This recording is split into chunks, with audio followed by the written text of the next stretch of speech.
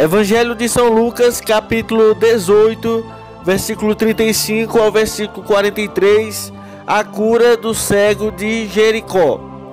Aconteceu que, ao aproximar-se ele de Jericó, estava um cego assentado à beira do caminho pedindo esmolas. E ouvindo o tropel da multidão que passava, perguntou o que era aquilo. Anunciaram-lhe que passava Jesus o Nazareno. Então ele clamou: Jesus, filho de Davi, tem misericórdia de mim. E os que iam na frente o repreendiam para que se calasse.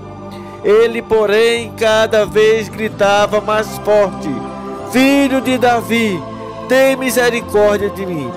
Então parou Jesus e mandou que o trouxessem. E tendo ele chegado, perguntou-lhe: Que queres que eu te faça? Respondeu ele: Senhor, que eu torne a ver.